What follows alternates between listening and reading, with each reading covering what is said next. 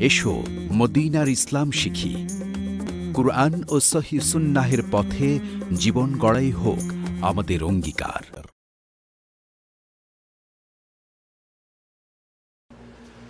আসসালামু আলাইকুম রহমতুল্লাহ আবরাকাত সুপ্রিয় দর্শক ও শ্রোতা বন্ধুগণ ওসিলা এর অর্থ কী?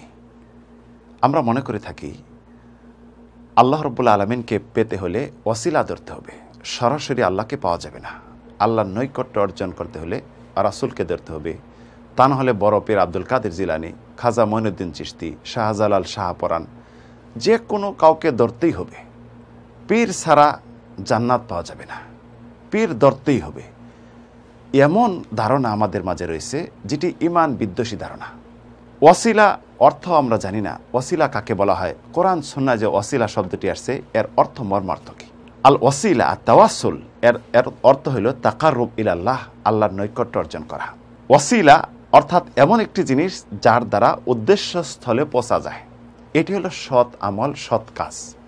কোরআনে কারিমে যেটি আসছে, ইয়া ইহল্লাদিন আমানুত্তাকুল্লাহ অবতাগু ইলাইহিল ওসিলা ও জাহিদু ফি সাবিরিহি লাআল্লাকুম তুফলিহুন।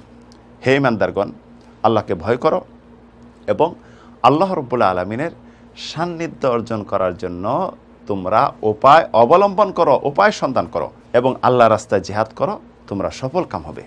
শ্রেষ্ঠ মুফাসের হাফেজ জারির নেতাবারি এর ব্যাখ্যা করেছেন, ইত্তাকুল্লাহর অর্থ আল্লাহ রব্বুল্লা আলমিন যা বলেছেন, এটি শোনো এবং তারা হবানে সারা দেও, যা থেকে নিষেধ করেছেন তা থেকে বিরত থাকো। অপ্তাগু ইলাইহিল ওসিলা এর অর্থ নিয়ে আসছেন যে, সৎ কাজ দ্বারা আল্লাহর সন্তুষ্ট অর্জন করো আল্লাহ নৈকট্য অর্জন করো। এমনইভাবে ইবনে কাসির রাহিমহল্লা একই ব্যাখ্যা নিয়ে আসছেন সাহাবি, তাবি এবং তাবে তাবি সকল মুফাসেরগণের ব্যাখ্যা হলো ওয়াসিলা হলো আল্লাহ রব্বুল্লা আলমিনের নৈকট্য অর্জন করা সৎ আমল দিয়ে। তাই আমরা যদি এখন পীর দরি রাসুল দরি নবী দরি আল্লাহর অলিয়া অলিয়া সন্ধান করি নৈকট্য অর্জন করার জন্য, এটি কোনো কাজে আসবে না। এর মাঝে রয়েছে আমাদের ইমানের ঘাটতি, ইমানের কমতি এবং আমরা ভ্রান্তির মাঝে আছি।